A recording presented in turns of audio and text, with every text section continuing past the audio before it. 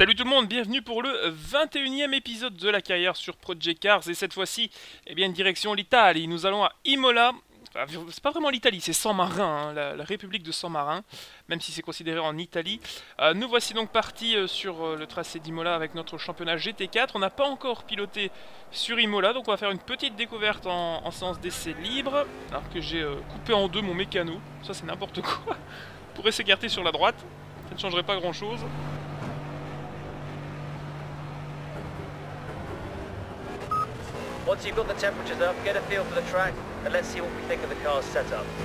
Allez, on va découvrir ce tracé d'Imola donc, avec euh, le GT4 pour la première fois.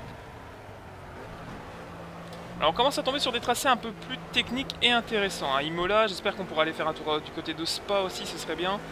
Spa qui n'a pas encore été euh, disponible depuis le début de la carrière, on n'a pas encore couru sur le tracé belge, mais ce, serait, ce serait vraiment sympa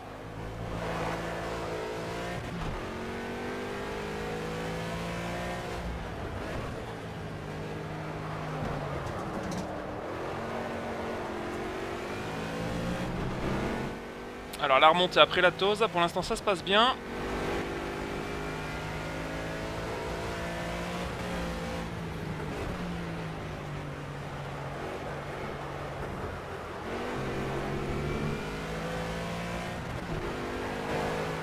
Et la descente vers Aquaminerali qui est bien marquée.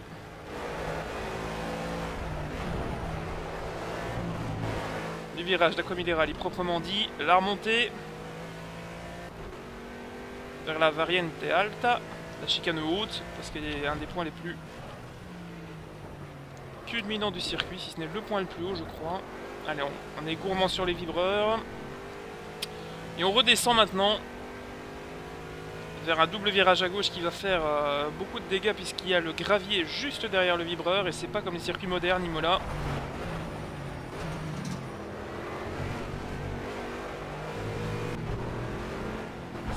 Violent.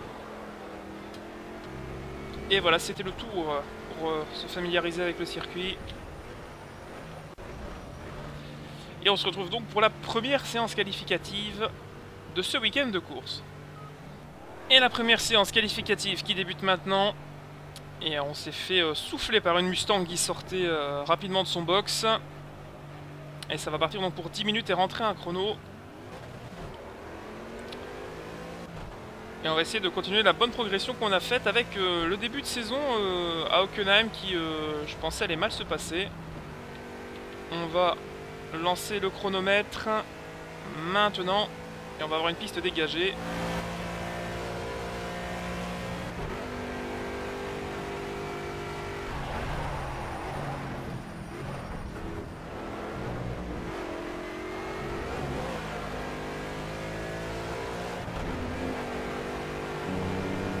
Voiture qui n'est pas encore à température, on voit que les pneus sont encore froids du côté du flanc gauche. Et je vois que j'ai énormément de carburant, comment ça se fait? Alors là, ça c'est un peu une bêtise de ma part. J'ai pas vérifié le niveau de carburant, ou alors j'ai pas sauvegardé quand j'ai fait mon, dernier setup. Donc on va terminer ce tour et on va rentrer, on va remettre euh, ce qu'il faut comme carburant. Et malgré tout plus rapide du premier secteur. Ah une fois réglé et chaude, la voiture est très efficace. Hein. C'est, je pense, la meilleure de la division. Surtout sur des circuits plus rapides comme ici, avec plus de courbes et de, et de vitesse nécessaire, là où la Ginetta était plus avantagée à Hockenheim finalement, quand on fait le bilan. Alors que les BMW euh, prennent l'eau. Quant aux Mustang, n'en parlons pas. Elles sont euh, les voitures les moins véloces euh, du plateau.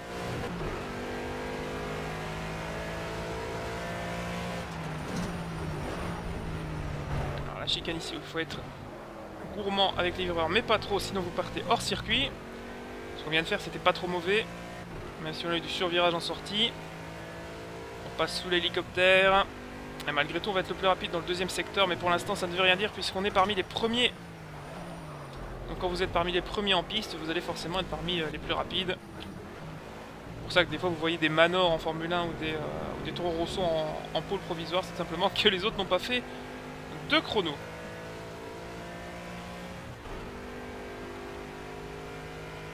Allez, en parlant de chrono, on va conclure le nôtre. Et j'ai soulagé trop tôt. Vous voyez que j'ai déjà perdu la tête face à Daniel Junkera.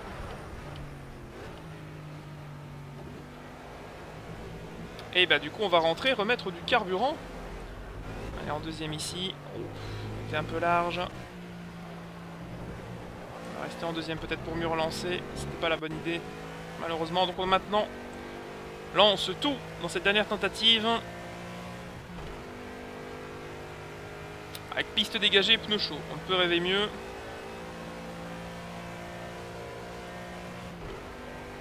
Et on est quand même remonté au sixième rang avec ce tour, dû euh, surtout à la perte de poids. Avec euh, le carburant en moins qu'on avait. Gros survirage à l'entrée de Tamburello, là on a perdu du temps. Là on a perdu vraiment beaucoup de temps.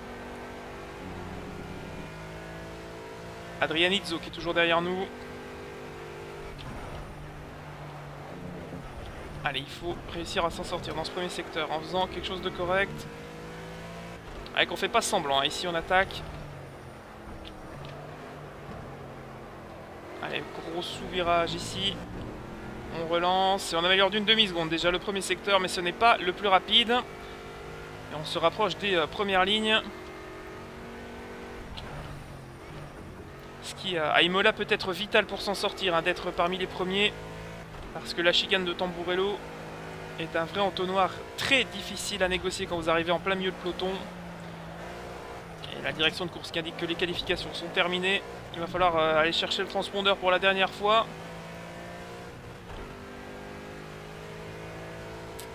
Et on est vraiment bien. On est vraiment bien. Euh, du moins c'est ce que nous dit euh, l'affichage des écarts en temps réel. On est en train de bien améliorer. On va voir le verdict du deuxième secteur maintenant. Ah, 9 millièmes de retard. Attention, on a été euh, moins bon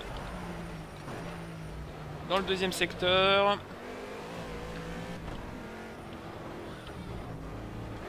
Et dans ce dernier ici, il va falloir bien relancer la voiture. Allez, c'est parti.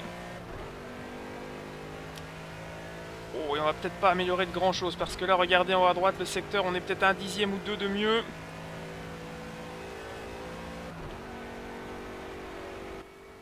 Et on restera donc sixième pour cette première séance qualificative donc.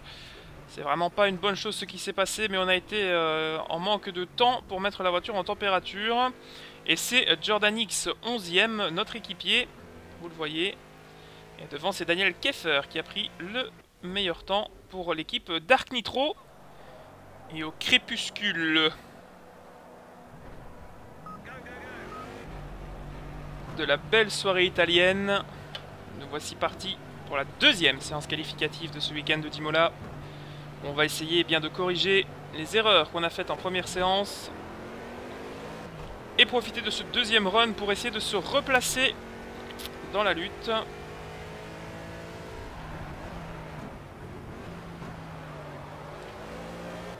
Allez, on sort du dernier gauche. Et maintenant, on balance tout.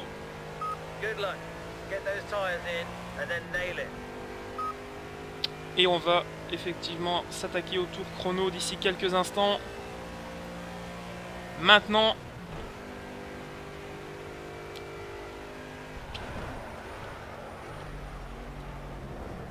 j'ai décidé d'opter pour euh, une conduite un peu plus agressive. On va voir si ça euh, donne de bonnes choses ou pas.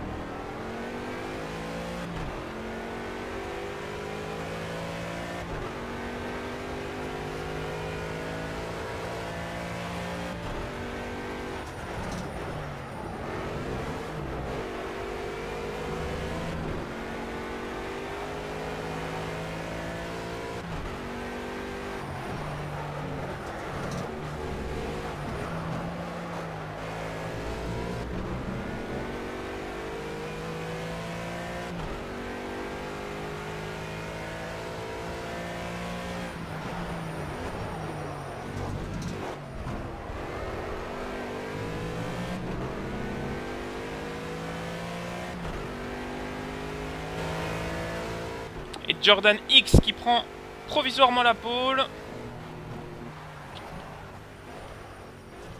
Et c'est Johnny Jones maintenant qui euh, la récupère alors que nous, on va s'élancer pour le vrai tour qualif. Dans celui-ci, c'était euh, vraiment du repérage. Maintenant, la voiture est chaude et c'est parti. Enfin, du repérage, c'était un premier tour, un premier galop d'essai.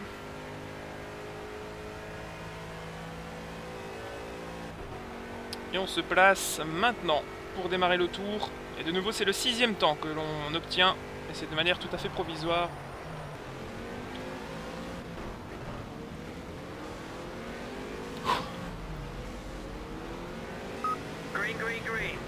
Et c'est parti, on roule à Imola pour cette manche sprint. Et on a pris un bon départ, on est déjà quatrième devant Mike Downs, le pilote le plus dangereux du championnat. Après notre équipier. Oh, et on est proche de prendre la tête, peut-être ici, attention. Dans la chicane de Tamburello. Et on a su s'infiltrer entre les deux Ginetta qui sont très rapides. Bon, est-ce qu'on peut aller porter une attaque déjà? Ça paraît un peu prématuré, mais on va le tenter tout de même c'est tout simplement pas possible.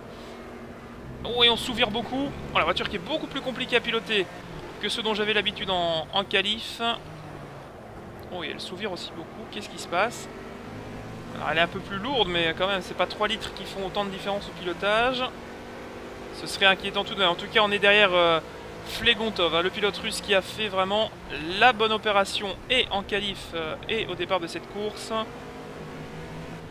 Et si c'était lui notre adversaire finalement?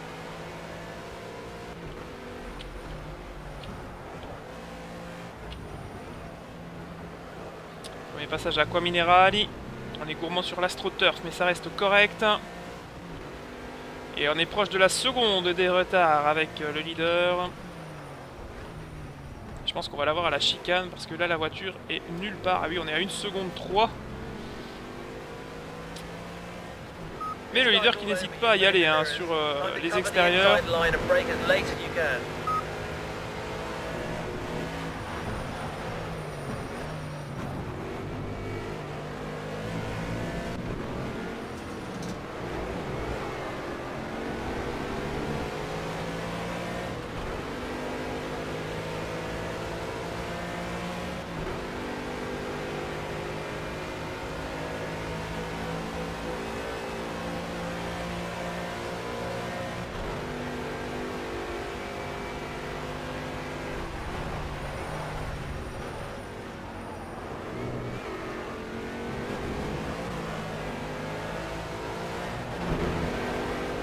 Et maximum attaque. Hein. Dans Tamburello, je me suis tué parce que là j'étais un peu concentré. Parce que je sens vraiment que cette victoire peut me revenir si je fais bien attention à, ce que je fais.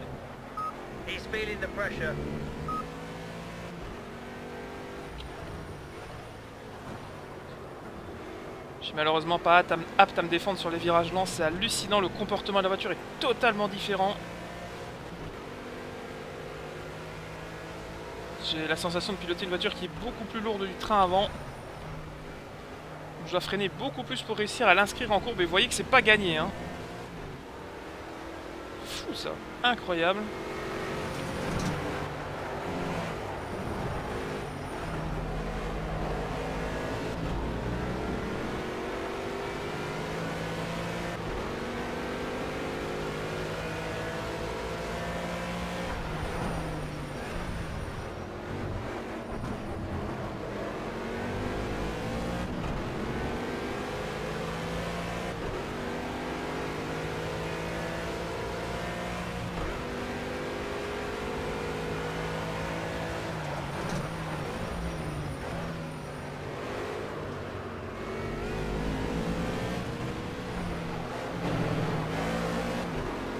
Et on va aller chercher le drapeau à damier en deuxième position derrière euh, Sergei Flegontov est devant Daniel Keffer.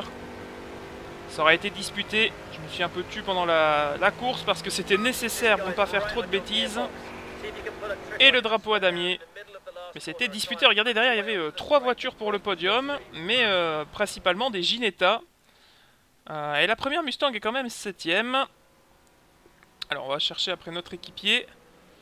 Où est-il? Oh là là, il a fait une très mauvaise, très mauvaise course. Il est 14ème Jordan X.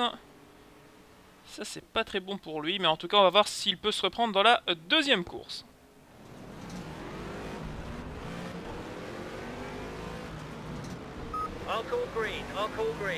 Le soleil d'Imola qui nous accueille donc pour euh, la deuxième manche. Et c'est parti Et on prend un bon départ, on arrive à déboîter tout de suite sur la Ginetta. Et c'est Sergei à gauche, euh, Flegontov qui est deuxième, attention. Il est maintenant second au championnat euh, derrière nous et on ne voit absolument pas les points de freinage. Et on est donc de nouveau deuxième derrière cette fois Daniel Keffer. On a de nouveau pris un très bon envol euh, sur ce départ lancé qui favorise bien les, les Aston face au Ginetta. Il n'y a pas de doute. Sauf que cette fois-ci, eh bien, il y a la case stand qui entre en jeu. 5 tours de course. Oh là là, et de nouveau ce sous-virage. Je ne peux rien faire.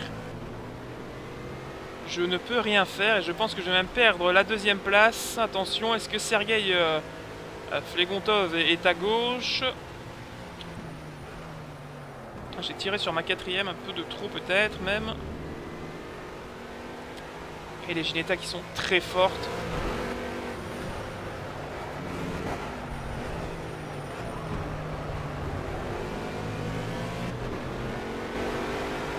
Sort d'Aqua Minerali. On a déjà une seconde pleine de retard sur le leader. Vraiment pas le même rythme. Par contre là je suis mieux sur les freinages. Allez comprendre. Ça se joue à tellement peu de choses.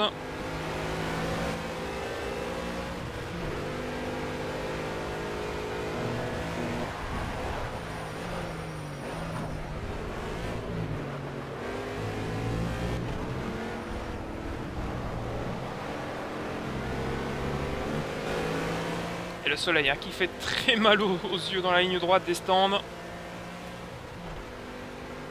Ça m'incite à regarder dans mes rétroviseurs, mais euh, je ne vois personne.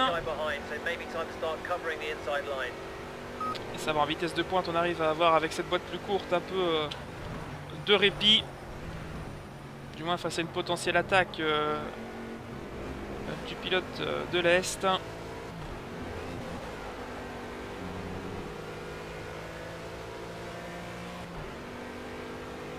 Alors, deuxième tour. Est-ce qu'on va déjà être eh bien, convoqué au box?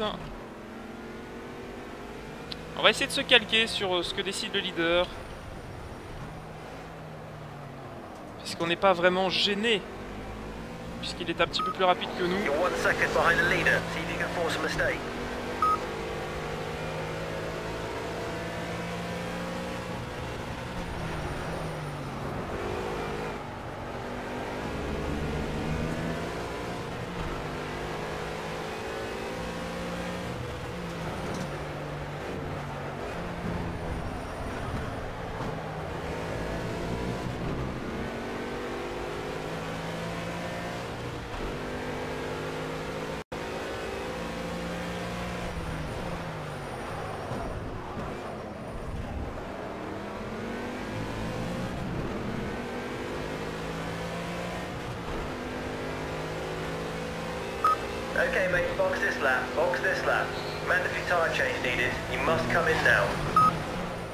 Alors, on est censé rentrer ce tour-ci, selon notre directeur de course.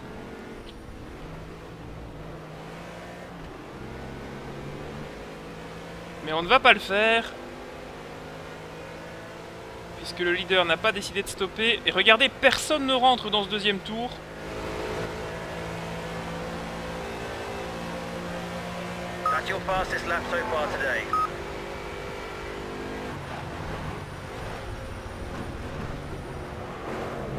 C'était notre meilleur tour aujourd'hui. Donc on va continuer d'attaquer. Personne n'est rentré, hein, parmi au moins les 10 premiers. Donc on essaie d'emmener ces pneus là le plus loin possible. Sincèrement j'arrive à bien les gérer pour l'instant.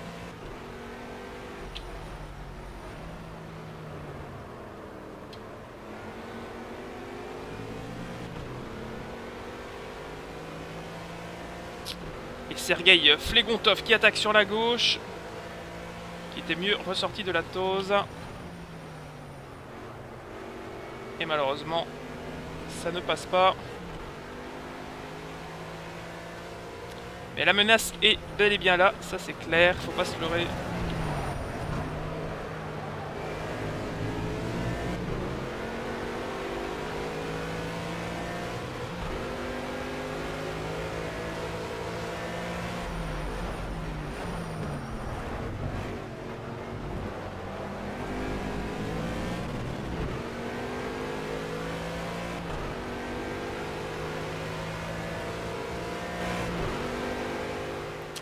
Alors, cette fois-ci également, l'appel des stands. Et là, on va devoir y rentrer malheureusement parce que les pneus ne tiennent plus le rythme euh, si bien que ça. On sent une légère dégradation. Et on va rentrer avant la catastrophe euh, comme le leader et comme euh, visiblement beaucoup de monde derrière nous.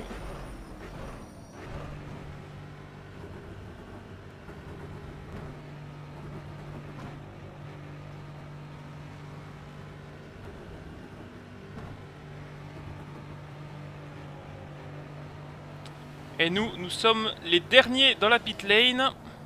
Ce qui est jamais une bonne chose, on doit laisser passer beaucoup de monde. Et on est tombé au quatrième rang. Preuve que beaucoup de monde se sont arrêtés, on n'a pas perdu tant de place que ça. Et un problème sur un écrou de roue. Et on va perdre encore beaucoup de temps. Et on perd le commandement. C'est Daniel Keffer qui nous passe devant. Sergei Flegontov également. Ah là là, ça c'est vraiment une petite catastrophe tout de même euh, que ça arrive ce genre de... Et la course, mes amis, est terminée. Malheureusement, on repart euh, eh bien, en fond de peloton et on ne pourra rien y faire. On est 15ème. C'est la course. Malheureusement, ça ne se passe pas toujours comme prévu. Et le fait de postposer l'arrêt a peut-être euh, engendré ses soucis. En tout cas, et eh bien maintenant il va falloir euh, rallier l'arrivée et puis c'est tout. Ne plus rien espérer dans cette manche.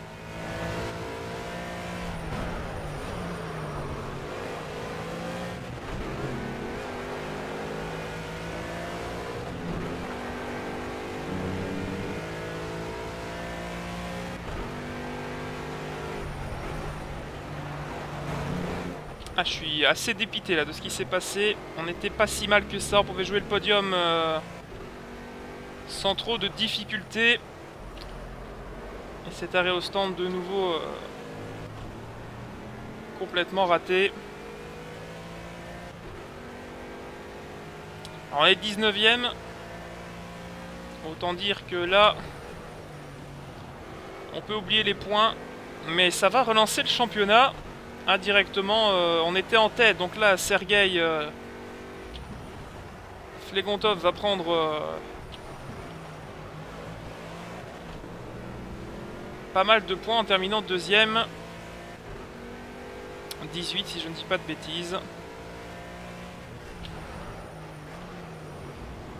Et les BMW qui sont vraiment très lentes. Hein. On voit les pilotes Aston Martin coincés derrière.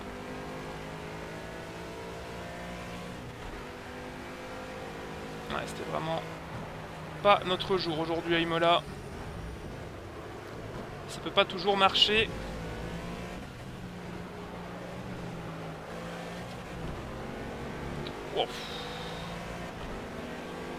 on est allé visiter euh, le gravier pour euh, Nigel Tiggs.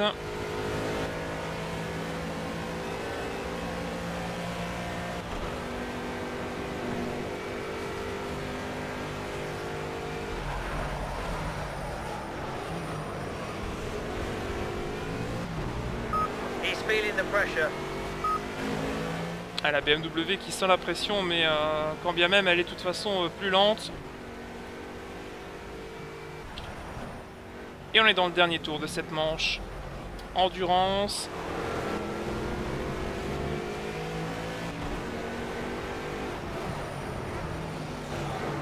Et la BMW numéro 25 qui nous ralentit pas mal derrière, ça revient. Nigel Tix qui revient.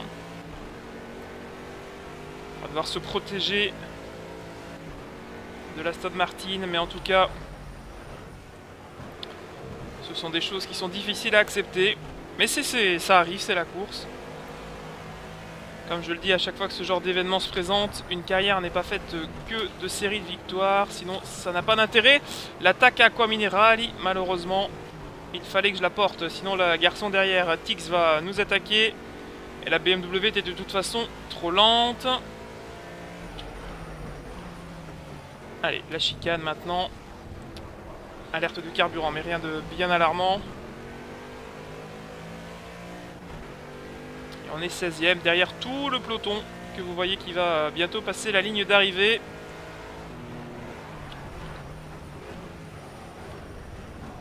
Oh, il y va à l'intérieur Ouf, on a failli se toucher. Nigel Tix qui n'aura rien lâché. Hein. Jusqu'à la dernière ligne droite, il aura tenté de gagner une position. Mais ça ne suffira pas. Et on termine donc la deuxième manche de ce week-end italien au 16e rang. Et on va passer le transpondeur maintenant. Voilà, c'est terminé. Course euh, très décevante ce week-end pour, euh, la voiture 18. Mais c'est comme ça, on va jeter un coup d'œil hein, bien euh, attentivement sur les classements. Alors, qu'est-ce que ça nous donne au niveau des points? Donc évidemment pour nous, pas de points récoltés lors de cette seconde manche. Oh là là, et Sergei Flegontov qui fait un plein de points. le classement, eh bien, on est un point derrière Sergei Flegontov qui n'était pas présent aux avant-postes lors de la première manche eh bien, qui s'était déroulée sur le circuit d'Ockenheim en Allemagne. On est deuxième, ça c'est pour l'instant euh, la bonne nouvelle, on n'est pas trop loin comparé euh, à nos adversaires directs. Les amis, je vous donne déjà rendez-vous dans le 22e épisode de cette carrière Project Cars où on va continuer eh bien, notre recherche du titre en championnat d'Europe de GT4. Merci de votre attention et on se retrouve très vite. Salut